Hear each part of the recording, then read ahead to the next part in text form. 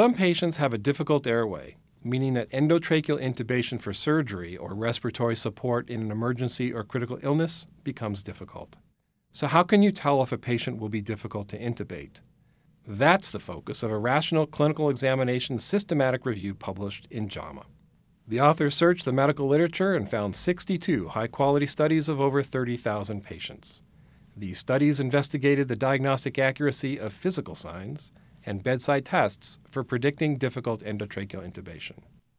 Here's what they found. Among the 10% of patients that were difficult to intubate in the studies, the strongest risk factor for a difficult intubation was a prior history of having a difficult intubation. There were four physical examination findings that predicted a difficult intubation. Number one, a class 3 upper lip bite test, which is the inability to bite any part of the upper lip with the lower incisors, signifying limited mandibular range of movement.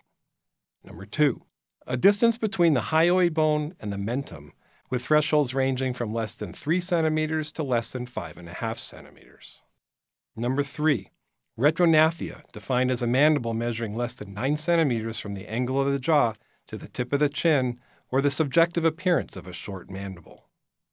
And number four, a Wilson score of greater than or equal to 2 or greater than or equal to 3. The Wilson score comprises measures of weight, C spine mobility, jaw mobility, retrognathia, and prominent incisors. The widely used Mallampati score measures the visibility of oral pharyngeal structures. A Mallampati score of greater than or equal to 3 had a positive likelihood ratio of 4.1. No risk factor or physical finding consistently ruled out a potentially difficult intubation. The authors conclude that although a variety of tests are helpful in identifying a potentially difficult intubation, the inability to bite the upper lip with the lower incisors was the best predictor.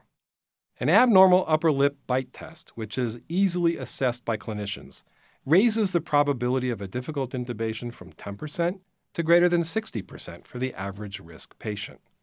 For a full description of the physical examination and the study's findings, click the link in the description.